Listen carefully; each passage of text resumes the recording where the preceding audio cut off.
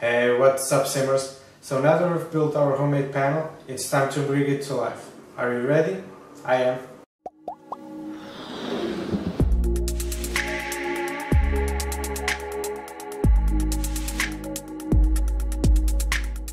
So, I need 8 toggle switches, in this case on off on toggle switches, but first, before installing them, we need electrical wire and a key ingredient in this mix, meaning a controller board. Controller board basically tells the computer what kind of electric inputs are being produced, okay?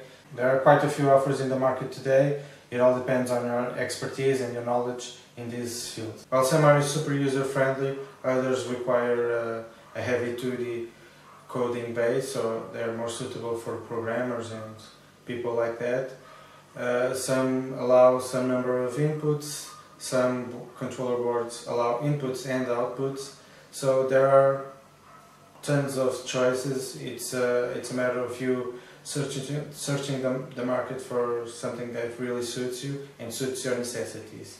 Take me for example, I know nothing about coding, so I tried to come up with a, a board that was user-friendly and it, it would be intuitive, something that wouldn't uh, take me hours and hours of learning. So I ended up choosing Leo Bodnar's cards and they suit my necessities just fine, at least for the moment. Toggle switches, a couple of meters.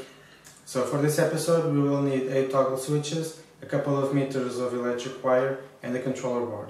Regarding the diameter of the controller wire, it all depends on your manufacturer's advice. If you have a Leo Bodnar card, I use 0.75 millimeters, but I advise you to use 0.5 millimeters since it will be easier.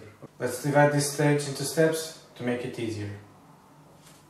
The very first thing that we're going to do is to gather the materials for our panel, meaning the panel, the switches, the wires and the controller board. In my case a Bodnar BBI32. The first step is to cut the wires within the right measurements considering the distance that goes from the panel to the board. Once we cut the, the, the wires we are going to tarnish the tips to leave some copper showing. If you have screw-on switches like this you'll have to leave one tip of the of the electric wire quite a bit uh, tarnished and some some copper showing since we are going to involve the the copper in those screws. So first of all we are going to just pressure the the the copper to get a nice smooth surface like this and then we are going one by one to like I said involve the, the copper on the screw. Once you get our copper in the screw just screw it okay and repeat these steps to the next pins. In the image remember that the ground wire is usually the one on the middle so in this case it is represented by the color brown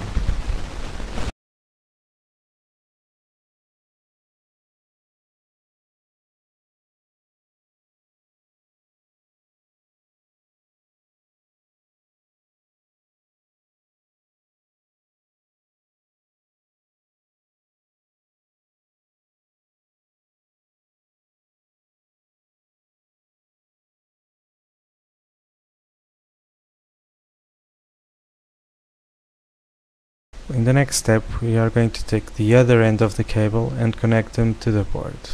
With the Bodnar boards we have connectors. It will connect one of the top pins to the button connector. Let's, let's take B1 for an ex example. The cable that leads to the middle pin to the ground connector and the remaining pin will connect to another button.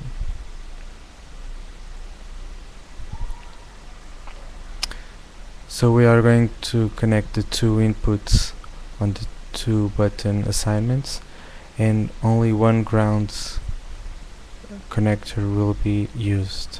So for uh, an on off on switch we will use three out of the four positions that usually a two button is required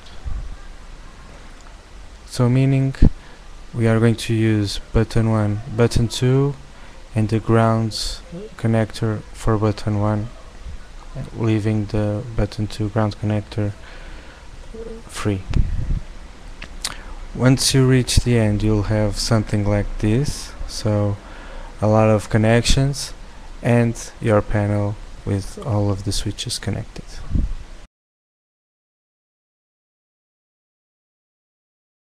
And that's it guys, as you can see it's easy, it all depends on a bit of work from you.